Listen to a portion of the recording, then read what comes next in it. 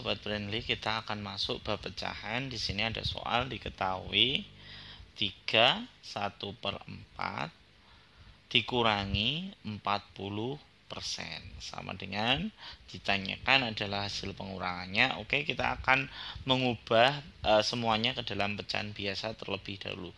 3 1 per 4 dikurangi 40 persen. Kita akan ubah menjadi pecahan biasa 30 dikali 4 berapa hasilnya?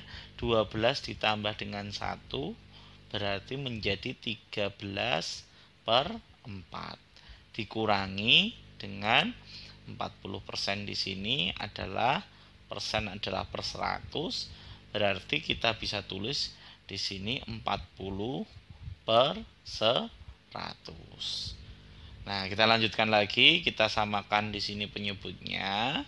100 dan 4 kita samakan dengan 100.